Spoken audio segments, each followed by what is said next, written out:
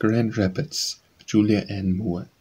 Wild roved the Indians once on the banks of Grand River, they built little huts down by that flowing river.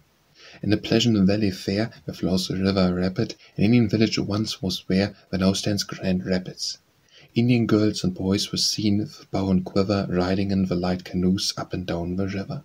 Their hearts are full of joy, happy voices singing, and music of forest birds, they kept the valley ringing. Indians have left and gone beyond the Mississippi. They call the river Owashtenong, where stands the pleasant city. Louis Campau, the first white man, bought land in Grand Rapids. He lived and died an honored man by people of Grand Rapids. Campau came to the valley, no bridge was across the river. Indians in their little canoes rowed them over water. Railroads now from every way run through the city, Grand Rapids. The largest town in West Michigan is the city of Grand Rapids.